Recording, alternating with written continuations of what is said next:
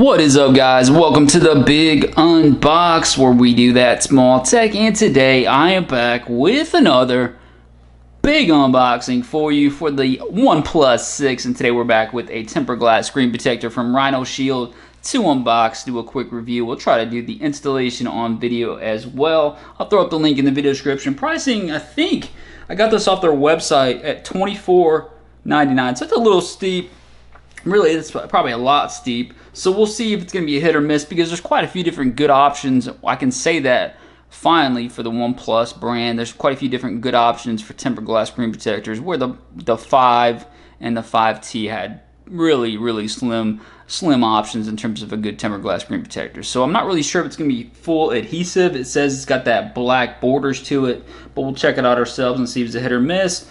I also got some other Rhino Shield products on the way. Actually, I already got them here. We're just going to do the unboxings and review a little bit later on, and uh, we'll see if those are hits or misses as well. All right, so presentation looks premium enough. You actually got a nice presentation.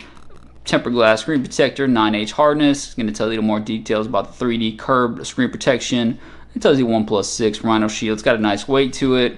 Presentation does look pretty premium, which you'd expect for that price of that price of 25 bucks 3d curved edge it tells you they're scratch resistant which they all say and water and oil repellency high transparency 99% clear. Okay let's get to the unboxing guys and check this out. I've been waiting for this one for a little while. I had it on pre-order probably since maybe end of june and I finally got it so I'm excited to get this to you guys and see if it is a hit or miss along with the rest of the um, the Rhino Shield products that are available. Uh, I do like the presentation. It's going to tell you right there how to actually do. It's going to yeah, do have some videos you can watch. So I'd recommend doing that. Don't trust me for this stuff because I just basically go with it. So you can check out their website and it's got some tutorials on the installation videos. So that's pretty nice right there. It's also going to give you some details right there how to apply it. But we're just going to go with it because that's how we do it. And uh, a lot of times I make mistakes, but don't hold that against me. So it does look like this is going to be full adhesive. Nice, it's got a nice weight to it. We'll check that out in a second. I wasn't sure what to expect with that, but I think it's going to be full adhesive. The black border is a little bit much on the bottom, and yeah, it's got a little thickness, little thickness on the sides as well. So we'll try to see if that affects any type of viewing angles. And you got your dust removal sticker right there. Keep that around and then a microfiber cloth. One thing I would have liked them to include was like a wet wipe to do the initial clean down. Looks like that's all you're gonna get. So that price point, I like to see a little bit more unless I'm missing it. Let's check it out. Man, I might be missing it. I think that's it though. Okay. All right. So I'm currently rocking this, I don't even know what, it might be one of the Poetic ones that I received along with the Poetic cases. And it's not too bad. So here's what you're gonna get. Let's compare the two very similar cutout. You can see the thickness is very close. I think this is a little bit thicker on the side. What do you guys think? It's a little bit thicker. Even the bottom black part's a little thicker as well. So it definitely feels a little more heavy duty, but I'm just a little bit leery about that. I hope it doesn't cut into the actual viewing angles. Again, we'll check that out. Make sure it doesn't though, guys. Let's give it a quick wipe down. So since I don't have the wet, I got a wet wipe around, but what I'm gonna do is I'm gonna do the video as if you guys were doing it because you guys, if they're not throwing it with it, you can't really, you know, you can try to make do, but it'd be nice if they throw that in there. So we're just gonna make do with it, without it, I should say. Give it a quick wipe down, edge to edge, wipe down, get all those cracks, wipe down. Do it in front of some direct lighting. That's my main, main, main thing. Lighting is key because you never know when a little piece of hair, little piece of dust is gonna get in there. And if you got some direct lighting, it's to be on there first. That's really nice. So what I want to do is take the, this is to be a dust removal sticker. It's kind of a big one. Let's go pop it out like that. So we take this. What this does is it's a nice clean, gives it one a onesie over and it'll get off all the actual remaining dust. And it is a nice dust removal sticker. Looks pretty good. All right, let's do it. Looks pretty decent. And then what you want to do is kind of get a game plan going on, guys.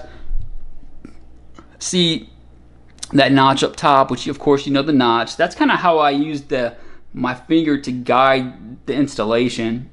Is based upon that front facing speaker, that front facing camera, and obviously the notch. And then use my fingers to kind of line up the sides as well. So that's kind of what I do is to get a game plan going on first, how I'm going to do the installation, and then you kind of want to do it as quickly as possible you obviously don't want to risk getting any type of uh, hairs, dust particles inside of it. So put it on like this. Let's.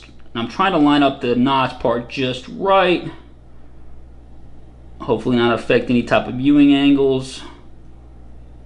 Make sure it's lined up. See the top part's really, it's kind of tough with that black part around the notch as well to get make sure it's lined up just right. So it's important. You take your time. Again, use your fingers around the sides as a guide tool. And you can see the adhesive is adhering. It's full adhesive. Easy access, no issues at all. Went on pretty smoothly. Let me give it a quick wipe down. And you might have a couple more little bubbles that you can get out.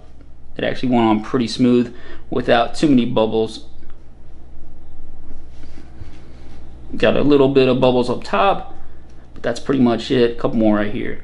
Let me do this, guys. I'm going to clean it up just a little bit, finish with those bubbles, and then we'll get back. We'll finish the review. We'll check out that black border. We'll check out the transparency, all that good stuff. Hold tight, guys. Be right guys, welcome back. So we got the screen protector put on. I got to say the installation was super easy, so they did a nice job with the actual quality of it. You can see you can just tell how easy it went on without any type of bubbles and how smoothly it went on.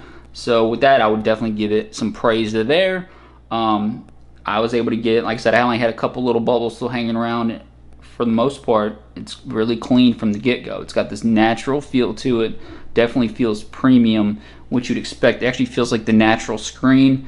So, and it doesn't have any type of air gap or anything like that. So when I say air gap, it's, it's full adhesive. So it's got edge-to-edge -edge adhesive so there's not going to be any type of that rainbow effect in the middle. You're not going to have any type of micro dots or anything like that. So this is going to be full edge to edge protection and it's going to feel natural to the touch, which is very important to me and probably a lot of you guys. You can see the extra edge to edge right there, how it cuts off the very end. Very, I mean, it looks so perfectly fit that they did a nice job with the, just the fine details of getting the fit just right. So you can see even around try to get that into focus there. You can see even around the notch, they did a great job with, with the how natural it looks. So it looks like you're not even using a tempered glass screen protector at all.